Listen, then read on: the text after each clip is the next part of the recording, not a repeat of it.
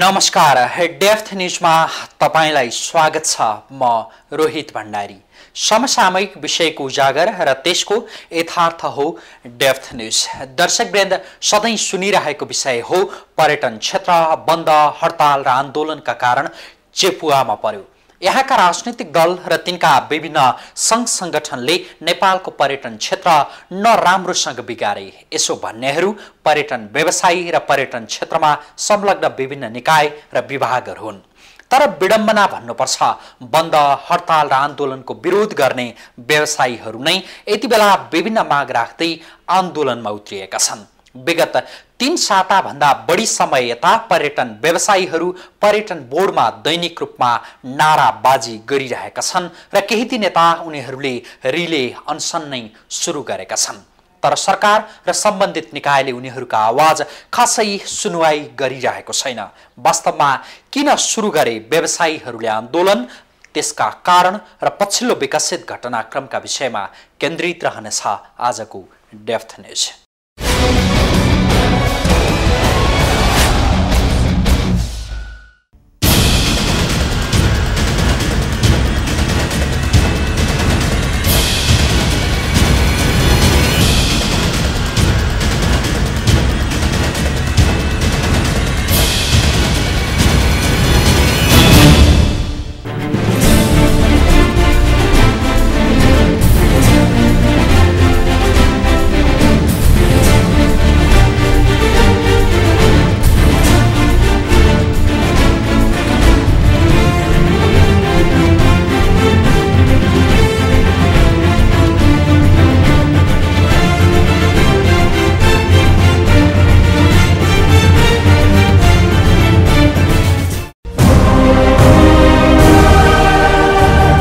राजधानीको केन्द्र भिरकुटी मण्डपमा रहेको पर्यटन बोर्ड तिन साताभन्दा लामो समयदेखि आन्दोलित छ।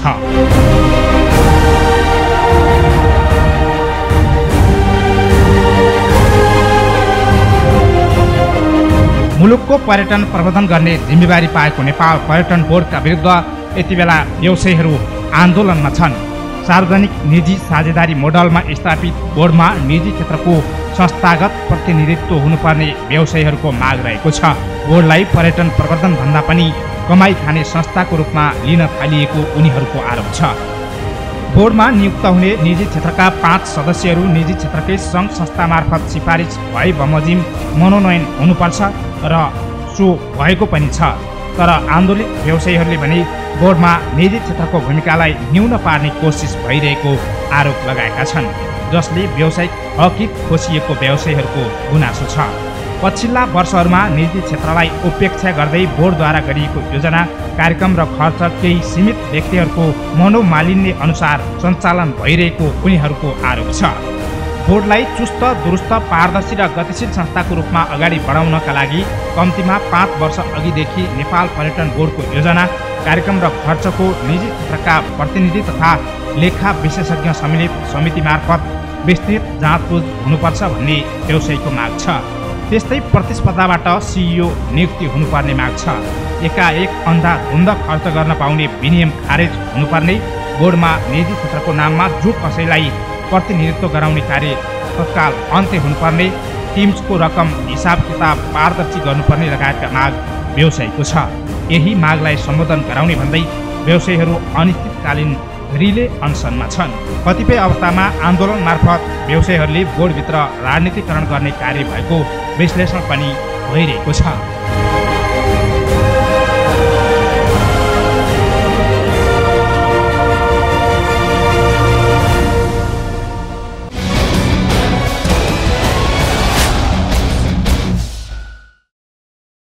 पर्यटन बोर्डमा पर्यटन व्यवसायीहरूको नियमित आन्दोलन जुन चलिरहेको छ त्यसका केही प्रमुख कारण हुने विभिन्न माग राख्दै पर्यटन व्यवसायीले आन्दोलन सुरु गरेको तिन साताभन्दा बढी समय बितिसकेको छ। तर आन्दोलनकारी र सरकारी पक्षबीच ठोस सहमतिको पहल भएको छैन। के भन्छन् आन्दोलनकारी पर्यटन व्यवसायीहरू? अबको क्रममा हामी उनीहरूकै भनाइ प्रस्तुत गर्छौँ।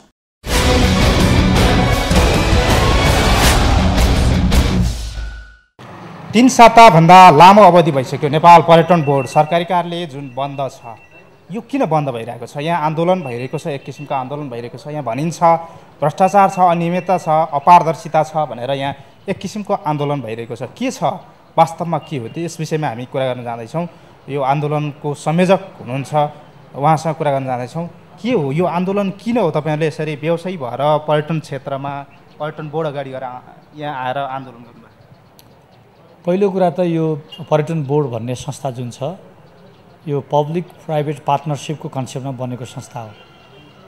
सरकारको पनि प्रतिनिधित्व यसमा रहोस् र प्राइभेट सेक्टरको यसमा अफनत्व रहोस् भनेर पन्ध्र वर्ष अगाडि तत्कालीन रूपमा सम्मान्य प्रधानमन्त्री गिरिजाप्रसाद कोइराला हुँदाखेरि गठित भएको संस्था हो। दिन बित्दै जाँदा यो संस्थाबाट प्राइभेट सेक्टरको अफनत्व हट्दै गयो घुम्दै गयो। यसका कारणहरू के रहेछन् हामीले खोज्दै जाँदा प्राइभेट सेक्टरबाट यो भित्र प्रतिनिधित्व गर्ने साथीहरूको जुन उपस्थिति छ त्यो एकदमै निर्यतामा परिणत भइसकेको।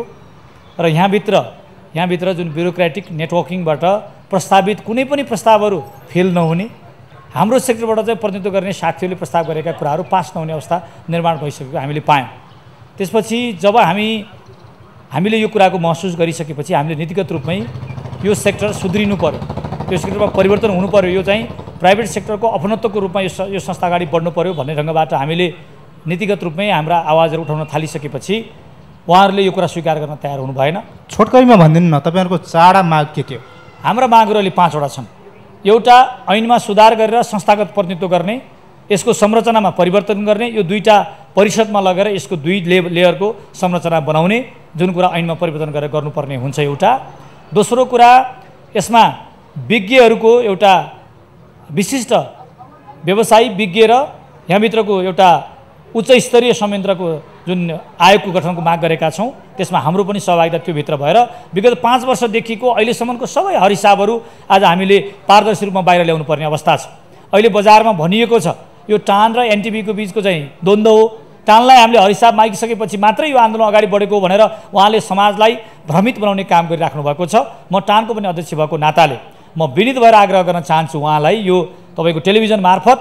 उहाँले आजसम्म टिम्स कार्ड मार्फत कति टिम्स कार्ड छपाई गर्नुभयो भन्ने कुराको तथ्याङ्क यहाँको कुनै कर्मचारीलाई जानकारी छैन। हामीलाई जानकारी छैन। हामीले सेल गरेको टिम्सको रेकर्ड छ हामीले मन्थली रूपमा कति बिक्री बिक्री गऱ्यौँ भन्ने कुरा हरेक महिनामा हामीसँग त्यो रेकर्ड छ। आवश्यक पर्दाखेरि हामीले सबैलाई दिने गरेका छौँ। तर उहाँले जुन एफआइटी जुन इन्डिभिजुअल ट्रेकिङ जान चाहने पर्यटकहरूलाई उहाँहरूले यहाँबाट बिक्री गर्ने चलन छ त्यो सङ्ख्या बरु हामीलाई हामीलाई आज हाँस हाँस उठिरहेको अवस्था छ। आठ हजारले मात्रै वार्षिक भिजिट गर्यो भन्ने रूपमा चाहिँ तथ्याङ्क चाहिँ अहिले बाहिर ल्याउने प्रयत्न गरेको हामीले पायौँ। त मु मुजुल्का नउठाइकन न छपाइमा मुजुल्का छ न त्यसलाई प्रयोग गर्दाखेरि मुजुल्का छ न इन्भेन्ट जति इन्भेन्ट्री कति बाँकी बस्यो भनेर त्यसको चाहिँ तपाईँले स्टोरमा मुजुल्का गरिएको अवस्था छ। त्यसले गर्दाखेरि अन्यलतामा राखेर जुन ढङ्गबाट उहाँले टिम्सलाई पनि गलत तरिकाले दुरुपयोग गरेको स्थितिलाई हामीले छानबिन मार्फत यसलाई बाहिर ल्याउनु पऱ्यो। हामीले भनेको अवस्था छ र टानमा एनी टाइम हामीले आग्रह गरिरहेका छौँ नियमन निकायले आएर हाम्रो हरिसाब हेर्न सक्नुहुन्छ। यहाँको वार्षिक बजेट कति हो? त्यो बजेट खर्च खर्च गर्न पाउने विधानहरू के हुन्? जुन तरिकाले अघि नै मैले भने यहाँ सोझै खर्च गर्न पाउने व्यवस्था भनेर भनिएको छ। यो पारदर्शिताको सन्दर्भमा मैले अलिक किन बढाउनु पर्ने जरुरी देखेँ भने त्यहाँ सोझै खर्च गर्न पाउने कानुनी व्यवस्था त्यो बोर्डलाई मात्रै अधिकार थियो। तर त्यो बोर्डबाट हटाएर उहाँले अहिले आफ्नो माताहतमा ल्याउनु भएको छ र त्यसमा देशभित्र एकपटकमा एक करोड देश बाहिर एकपटकमा चार करोड र उहाँले नै नियुक्ति गर्ने अवैधानिक दूत जो हाम्रो पिआर भनिन्छ उहाँ मार्फत जति पनि खर्च गर्न सकिने भनेर उहाँले भनेको अवस्था भएको कारणले गर्दाखेरि पोलिसी करप्सन भएको कुरा पुष्टि भएको छ। No trekking without guide and porter यो हाम्रो भनाइ होइन। आज नेपालमा दस वर्षको बिचमा सत्रजना मान्छेहरू हराए। उहाँहरूको अवस्था आज सरकारले कसैलाई पनि दिन सक्ने स्थिति रहेन। हाम्रो कुनै पनि सेक्युरिटीले त्यो कुराहरूको खोज तलास गरेर आज उहाँहरूको चाहिँ हालत के हो त? उहाँहरू कहाँ हुनुहुन्छ? भन्ने कुराको टुङ्गो लगाउन नसकेको हुनाले हाम्रो सुरक्षामाथि ठुलो चुनौती बढ्यो। र जो जो परिवारका सदस्यहरू नेपालमा आएर हराउनु भयो उहाँहरू इन्डिभिजुअल ट्रेकिङ जानुभएको थियो कम्पनी मार्फत जानुभएको थिएन। उहाँले कहाँबाट गाइड लानुभयो कहाँबाट फोटो लानुभयो एक्लै जानुभयो त्यसको काहीँ तथ्याङ्क छैन। त्यसैले हामीले के भनेका छौँ भने पर्वतीय पर्यटनको क्षेत्रमा नेपालमा धेरै महत्त्वपूर्ण क्षेत्रहरू यस्तो छन्। हामी जब जब माथि माथि जान्छौँ त्यहाँ हाम्रो सेन्टिमेन्ट बढ्ने भएको हुनाले त्यहाँको चाहिँ गतिविधिलाई देखेर त्यहाँको चाहिँ इन्भाइरोमेन्टलाई देखेर त्यहाँको पेनोरमिक भ्युजलाई देखेर मान्छेहरू बडो आकर्षित बन्ने भएको हुनाले कुनै पनि गतिविधिमा भोलि उहाँहरू चाहिँ दुर्घटनामा पर्न सक्ने कुरालाई मध्यनजर गर्दै सुरक्षा र दुर्घटनालाई हामीले हेरेर अब नेपालमा कुनै पनि विदेशी पर्य पर्यटकहरू पदयात्रामा जाँदा मजदुरहरूको सहयोग बेगर जान हुँदैन त्यो पनि कम्पनी मार्फत जानुपर्छ। यो माग हामीले प्रश्न राखेका छौँ। यो कुरा ऐनमा व्यवस्था हुनुपर्छ। अर्को हाम्रो माग छ कल्याणकारी कोष। यहाँले अस्ति मात्रै देख्नुभयो सगरमाथा क्षेत्रमा ठुलो दुर्घटना भयो। हाम्रा धेरै वीर आरोहीहरूको त्यहाँ दुःखद निधन भयो र त्यसपछि हामीले इमिडिएट सरकारलाई हामीले ध्यान आकर्षित गराएर तपाईँको चाहिँ क्षतिपूर्तिको कुरा गर्दाखेरि सरकार अहिले पनि चालिस हजारभन्दा दिन सक्ने अवस्थामा छैन। त्यो अहिलेको अवस्थामा त्यो अत्यन्त न्यून हो नगण्य हो। त्यसले गर्दाखेरि सामाजिक सुरक्षाको पार्टमा अब मजदुरहरूको सेवा सुविधा वृद्धि गर्नुपर्छ भनेर त्यसलाई ऐनमा व्यवस्था गर्नुपर्छ भनेर हामीले त्यो कुरा अगाडि बढाएको अवस्था छ। अर्को कुरा यहाँ सिओको छनौट प्रकरणमा आउँदाखेरि यहीँको कर्मचारीले प्रतिस्पर्धा गर्ने अनि त्यो प्रतिस्पर्धामा गरेको कर्मचारीले तल्लो पद छोड्न नपर्ने अनि आफू बन्ने अवस्था हुँदा चाहिँ उहाँहरूले त्यसलाई सहजता निर्माण गर्ने। जब आफू नबन्ने अवस्था हुन्छ भने कानुनी जटिलता निर्माण गरेर अनि अड्डा अदालतमा धाउने। र यसलाई चाहिँ तपाईँको चाहिँ एउटा अन्यलतामा राख्ने स्थिति भएको हुनाले यहाँको कर्मचारीहरू कसैले पनि सिओमा प्रतिस्पर्धा गर्न चाहँदा उनीहरू कार्यरत रहेको पदबाट राजीनाम गर्नुपर्छ जसले गर्दाखेरि न्युट्रलाइजेसन हुन्छ र एउटा सहजता निर्माण हुन्छ भनेर हामीले यो पाँचवटा मागहरू राखेर हामी अगाडि बढेका छौँ। यी मागहरू पुरा नगरिकन हाम्रो आन्दोलन पछाडि हट्नेवाला छैन। विगत यो जुन एउटा सिओको भ्याकेन्ट भएको समयमा यो भित्र भएका आर्थिक गतिविधिका कुराहरू नियमावलीका कुराहरू कानुनका कुराहरू महत्त्वपूर्ण छन्। यहाँ मोनोपोली ढङ्गले आफ्नै तरिकाबाट चाहिँ व्याख्या गरेर आफ्नै तरिकाले नियमावलीहरू बनाएर यहाँ चाहिँ आर्थिक हिनामिनाहरू गरिरहेको अवस्था पनि अहिले हो। एउटा तपाईँले यो आर्थिक अनियमितता भयो पारदर्शी भएन भन्नुभयो। यो गफमै मात्रै हो कि तपाईँहरू पहिलो कुरा नेपालको कानुन हुन्छ। हामीले के छ भने सार्वजनिक खरिद ऐन दुई हजार त्रिसठीले के भन्छ भने दस लाखभन्दा माथिको कुनै खरिद गर्नु परेको खण्डमा कुनै चिजवस्तुको खरिद गर्नु पऱ्यो भने हामीले टेन्डर मार्फत जानुपर्ने व्यवस्था छ कानुनमा। तर यहाँ नेपाल पर्यटन बोर्डमा के गरिरहेको छ भने आफ्नै विनियमावली तयार गरेर तपाईँको चाहिँ पच्चिस लाखसम्म चाहिँ तपाईँको त्यो टेन्डरै गर्नु पर्ने। एउटा व्यक्तिले एक करोड रुपियाँ स्वदेशमा खर्च गर्न सक्ने चार लाख डलर विदेशमा खर्च गर्न सक्ने अवैधानिक प्रतिनिधि मार्फत जति पनि गर्न सक्ने भन्ने शब्दले के देख्नुहुन्छ तपाईँ? जसको त्यो आमन्त्रित छ त्यो व्यक्ति जो व्यक्ति चाहिँ तपाईँको बोर्डमा उसको केही राइट पनि छैन भोटिङ राइट पनि छैन। यसमा अलिकति कानुन पाटो जाउँ। अब के हुन्छ? कानुन रूपमा यो संस्थाको विषयमा सिइओ लगायत तपाईँहरूको माग कानुनमा व्यवस्थै नभएको कुरा जसको कायम कायम प्रमुख कार्यकारी अधिकृत हुनै नसक्ने अवस्था छ तर कुनै व्यक्तिलाई अलिकति आफ्नो उसमा पारेर बहसमा पारेर निर्णय गराइएको छ। किनभने सिनियर डाक्टरको हिसाबले निमित्त दिनु मिल्ने किनभने त्यो सिओ नभएको खण्डमा निमित्त दिनु मिल्ने।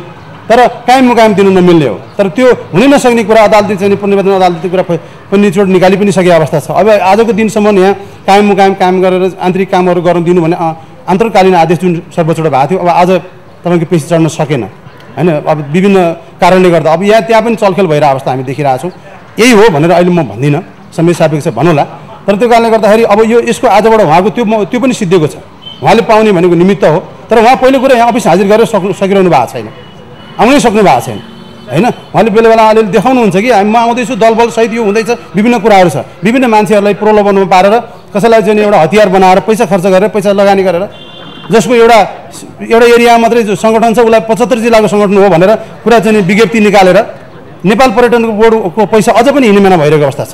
त्यो विज्ञप्ति त्यो संस्थाले निकाल्नै सक्दैन। त्यो त्यसले गर्दाखेरि चाहिँ आजको दिनमा हामी उन्नाइसवटा निजी क्षेत्रका संस्थाहरू र सरकारी निकायको चारवटा टोटलमा तेइसवटा संस्थालाई चाहिँ तपाईँ अहिले के अरे विपक्षी बनाएर मुद्दा हालिरहेको अवस्था छ। त्यो जो जो जो व्यक्तिले मुद्दा हाल्यो त्यो सक्ने अवस्थाको व्यक्ति नै होइन। त्यो संस्थै होइन। त्यही कारणले गर्दा यस्तो यस्तो किसिमको चाहिँ नि फोरी खेलहरू चाहिँ अहिलेको हाम्रो निमित्त सिओले खेलिरहनु भएको छ। यो उहाँलाई नै घातक हुन्छ। जति उहाँले बढाउनुहुन्छ उहाँलाई घातक छ। पर्यटन बोर्ड स्थापना भयो। त्यसको जुन संरचना अनुसार चल्ने थियो त्यो संरचना अनुसार नचलेर यहाँ व्यापक भ्रष्टाचार भएको हुनाले मजदुर पनि एउटा भ्रष्टाचार विरुद्ध लाग्ने संस्था भएको हुनाले यो भ्रष्टाचार अन्तको लागि हामी चाहिँ पर्यटन व्यवसाय सँगसँगै हिँडेको हौँ हामी। जस्तो भ्रष्टाचार भन्नुभयो? आधारगत तथ्य चाहिँ के छ? अब तथ्य त आफै यहाँ हामीले श्वेतपत्र जारी गरिसकेका छौँ। जुन एउटा व्यक्तिले एक करोडसम्म बिने आफै बिनावली चेन्ज गरेर उसले एक करोड चाहिँ खर्च गर्न पाउने एउटा विदेश जाँदा चार लाख डलर खर्च गर्न पाउने यो जा सरासर त यो झन् लुटा धन जस्तो भइसक्यो नि त।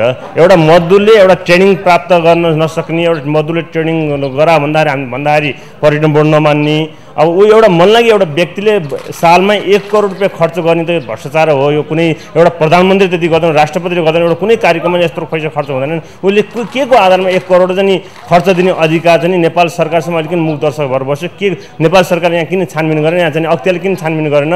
यो अख्तियारले र नेपाल सरकार छानबिन नगरेको कारणले यो पर्यटन व्यवसायले गरेको भ्रष्टाचार आन्दोलनमा हामी युनिट्राबले यो पर्यटन मजदुरलाई पनि विगतदेखि नै यो पर्यटन बोर्डमा भ्रष्टाचार छ। यसले चाहिँ जुन हिसाबले पर्यटन बोर्ड गठन भएको त्यो अनुसार काम गरेन।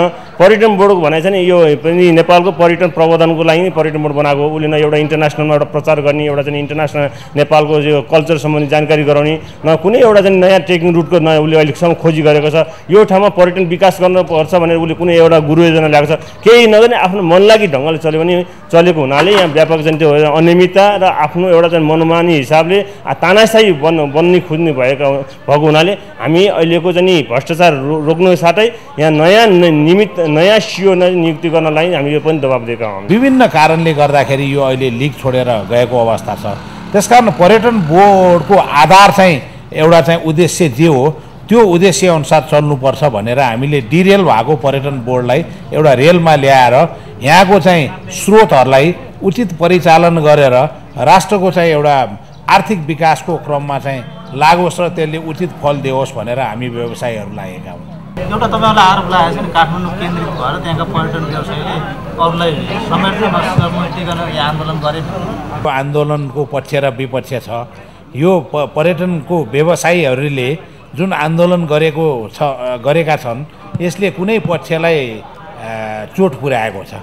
उनीहरूको निहित स्वार्थमा आफ्नो चाहिँ एउटा चाहिँ एउटा आत्मपरक व्यक्तिपरक उद्देश्यमा चाहिँ चोट पुर्याएको छ। त्यसकारण उहाँहरू एउटा चाहिँ मुलुकभरिको नाममा एउटा समावेशीको नाममा समग्रको नाममा एउटा अमूर्त कुराहरूलाई चाहिँ एउटा व्याख्या गरेर उहाँहरूले हाम्रो आन्दोलनलाई चाहिँ न्यूनीकरण गर्न खोजेको प्रयास हो। हेर्नुहोस् नेपालमा चाहिँ तपाईँको चाहिँ अन्तर्राष्ट्रिय एयरपोर्ट काठमाडौँमा छ। नेपालमा आउने विदेशी पर्यटकहरू पहिला काठमाडौँमा आउँछन्। काठमाडौँमा आएका पर्यटकहरू यहाँबाट जान्छन् त तपाईँको सगरमाथातिर जान्छन् कञ्चनजङ्घातिर जान्छन् आपी सैपालतिर जान्छन् पोखरा जान्छन् चितवन जान्छन् होइन? त्यसै कारण मुलुकभरि जुन पर्यटन चाहिँ एउटा चाहिँ व्यवसाय र पर्यटनको चाहिँ एउटा अपरेसनको जालो छ डेफिनेटली यो रा राजधानी भएको कारण र अन्तर्राष्ट्रिय चाहिँ एउटा विमानस्थल भएको कारण चाहिँ यहाँ नेपाल का यो यो काठमाडौँमै चाहिँ यो केन्द्रित छ। एउटा म तपाईँलाई अन्तिममा सोध्छु यो पर्यटन क्षेत्रमा शुद्धता कायम गराउन तपाईँहरूको यो आन्दोलन जुन चलिरहेको छ यसमा पछिल्ला दिनमा पनि तपाईँहरू सफल हुन सक्नुहुन्छ। यो अहिंसात्मक आन्दोलन शान्तिपूर्ण आन्दोलन हेर्दाखेरि त्यो अलिकति चाहिँ त्यो के भने एउटा चलायमान त्यति हुँदैन। किनभने यसले कसैलाई पनि आघात पुर्याउँदैन तर यसको चाहिँ भित्री शक्ति चाहिँ असाध्यै चाहिँ असाध्यै चाहिँ शक्तिशाली हुन्छ। र यसले चाहिँ एउटा निश्चित चाहिँ तपाईँको चाहिँ ऊ लक्ष्य प्राप्ति गर्छ।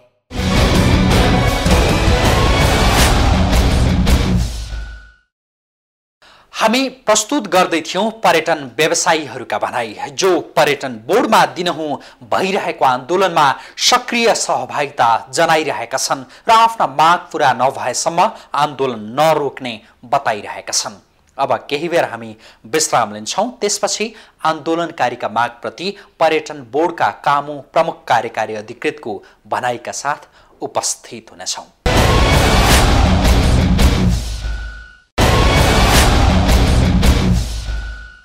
विश्रामपछि स्वागत छ। यति बेला तपाईँ डेफ्थ न्युज हेर्दै हुनुहुन्छ र आजको कार्यक्रममा हामी पर्यटन व्यवसायीहरूले विभिन्न माग राख्दै पर्यटन बोर्डमा विगत तिन साताभन्दा बढी समय यता गरिरहेको आन्दोलनका विषयमा केन्द्रित छौँ। पर्यटन व्यवसायीहरूले राखेका विभिन्न मागमध्ये एउटा प्रमुख माग हो पर्यटन बोर्डका कामु प्रमुख कार्यकारी अधिकृतको राजीनामा। वास्तवमा के भन्छन् त पर्यटन बोर्डका कामु प्रमुख कार्यकारी अधिकृत जसको व्यवसायीहरूले राजीनामा मागिरहेका छन्?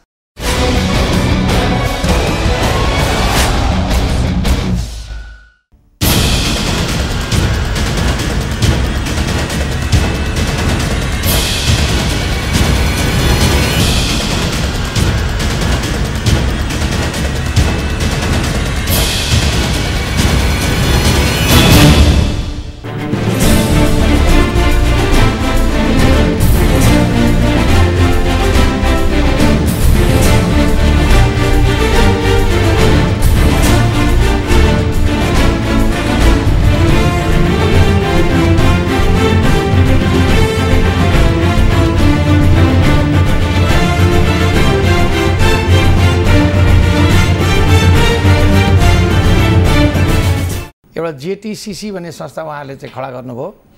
त्यो खडा गरेर विभिन्न यहाँ भएका स्थापित सङ्घ संस्थाहरूको चाहिँ त्यहाँका चाहिँ अगुवाहरूलाई भनौँ अध्यक्षज्यूहरूलाई अब विभिन्न किसिमका चाहिँ योजनाहरू राखेर त्यो उहाँहरूलाई चाहिँ सहमत जनाएर जेटिसिसीले नेतृत्व लिने भन्ने किसिमको सहमति भएपछि उहाँहरूको योजनामा पहिलो सुरुवात उहाँले के गर्नुभयो भने एउटा त्यसलाई सुरु गर्ने एउटा बाहना त चाहियो।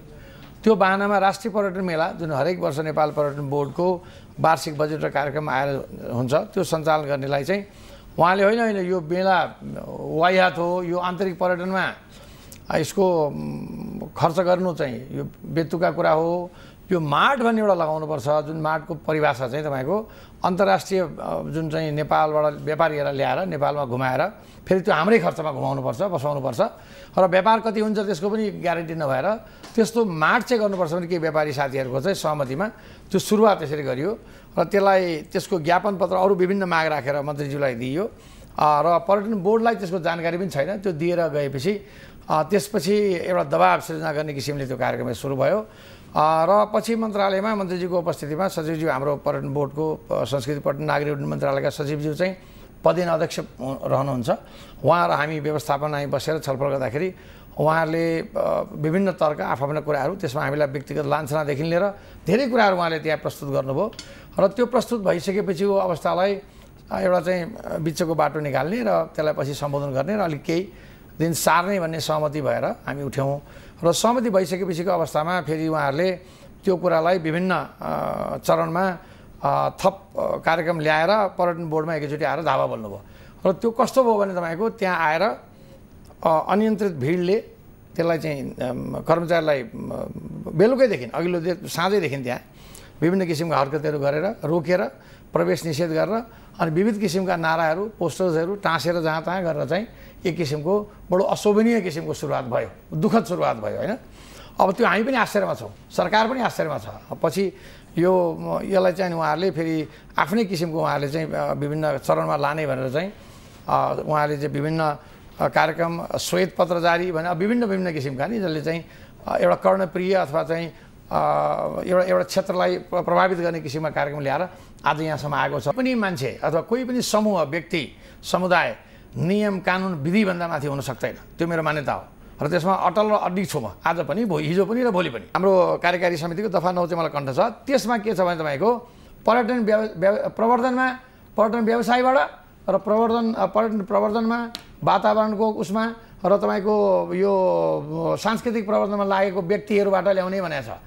अहिलेसम्म तपाईँको पर्यटन प्रवर्धन मतलब निजी क्षेत्रबाट मात्रै ल्याएको छ। त्यहाँ निजी क्षेत्रको मात्रै एकलौटी छैन। तर आजसम्म त्यो ऐनले दिएको व्यवस्थामा निजी क्षेत्रलाई नै प्राथमिकता दिएर पाँचका पाँच निजी क्षेत्रबाट आउनुहुन्छ। अब संस्थागत प्रतिनिधि हुने अथवा क्षेत्रीय प्रतिनिधि हुने क्षेत्रीयगत अब देशका त विभिन्न भाग छन् नि। काठमाडौँको मात्रै हुने भन्ने कुरा चाहिँ त्यो चाहिँ ऐनमा कहीँ उल्लेख नभएको हो।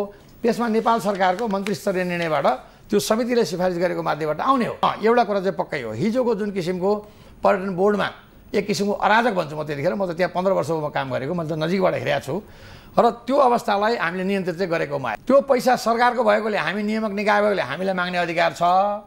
पर्यटन बोर्डसँग हिसाब माग्ने उहाँलाई अधिकार छैन। उहाँले यति मात्रै सरोकार एउटा बालकको हिसाबले के भन्न सक्नुहुन्छ भने एउटा सचेत नागरिक एउटा सरोकारवालाको हिसाबले ल हामीलाई चित्त बुझेको छैन।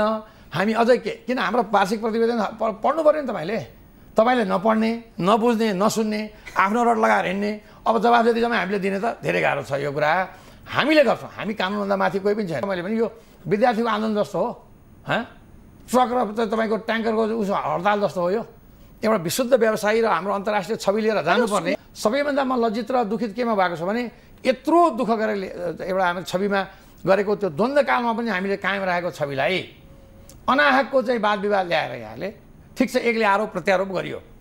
गर्न पाइयो र एकछिन मानौ। किन नेपालमा कानुनै छैन जे पनि भन्न पाइयो। तर अब बैठान कसरी गर्ने त? हाम्रो समितिले गर्ने नि त समितिले गर्छ। मन्त्रीजीको स्तरमा जाने मन्त्रीजीको स्तरमा जान्छ। त्योभन्दा माथिल्लो क्याबिनेटको छन् यसका तहगत कुराहरू। त्यो कुनै पनि उहाँहरू सुन्न तयार हुनुहुन्न। अब यसको निकास कहाँ छ? हामीले त भनेको थियौँ। मैले त उहाँलाई अहिले तपाईँलाई यो तपाईँको आज पहिलो कार्यक्रममा भन्दैछु। होइन? यो उहाँलाई मैले राखेर यो पनि भनेको थिएँ तपाईँहरूको मागको सम्बोधनको एउटा खाका तयार पारौँ ड्राफ्ट ड्राफ्ट तयार पारेर त्यो हामी सबै पक्षहरू बसेर गरौँ अनि त्यही कुरा सरकारलाई दिएर विथड्र गर्नुहोस्। एउटा कुरा। तर उहाँले मान्नु भएन सदस्यहरूको राजीनामा पनि गराउने सन्दर्भमा यदि समग्र पर्यटनको विकास चाहिँ अहिले भएको वर्तमान सदस्यज्यूहरूबाट त्यसलाई ठाउँ खाली गरेर बाटो प्रशस्त गरेर जाने र नयाँ टिम आएर गर्छ भने पनि राम्रो कुरा। त्यो पनि गरौँ भन्दा होइन। त्यो चाहिँ उहाँहरूले गर्नु पऱ्यो अरे वक्तव्यबाजी चाहिँ गरिहाल्नु पऱ्यो अरे। आन्दोलन बन्द हुँदैन गर्ने कुरा त्यो है?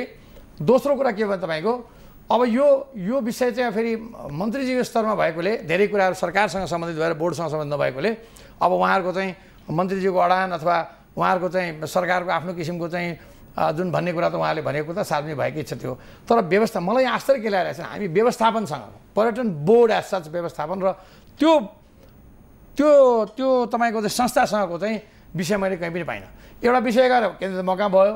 काम पद काम छोड्नु पऱ्यो। अब निमित्त छोड्नु पऱ्यो फलाना हुनु पऱ्यो। तपाईँ छोड्ने कुरा त छैन। हो तपाईँको कसैले भनेको मनगढन्त कुराले अथवा आरोप प्रत्यारोपले अखबारबाजी गराएर प्रचारबाजी गराएर छोड्ने कुरा हुँदैन। छोड्नु हुँदैन उसले। उसले कि जागिर छोड्नुपर्छ? जिम्मेवारी लिनु हुँदैन। कि पदका मर्यादाहरू हुन्छन् कि? त्यो मर्यादालाई कायम राख्ने मान्छे त्यहाँ रहनुपर्छ। भोलि मैले त्यो अवस्था आएर यो म म त एउटा देशको नागरिक पनि त हो नि मान्छे।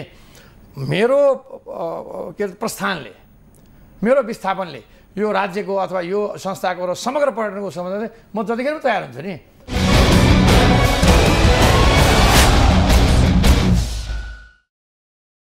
उहाँ हुनुहुन्थ्यो नेपाल पर्यटन बोर्डका कामो प्रमुख कार्यकारी अधिकृत।